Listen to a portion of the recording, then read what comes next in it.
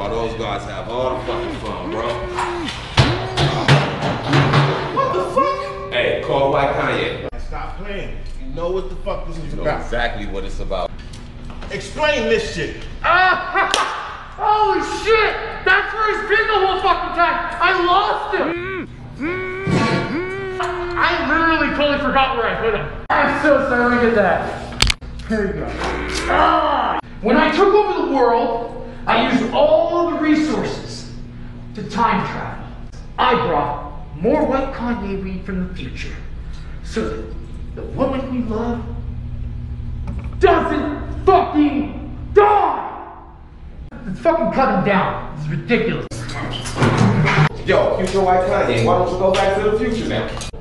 I can't. I don't know why. You don't think this is gonna fuck up the timeline? it's fine!